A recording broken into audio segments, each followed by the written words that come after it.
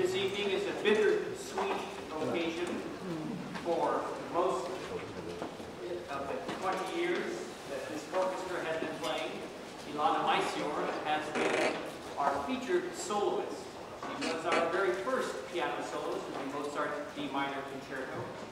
And she has gone on, as you can see in the program, for a number of times.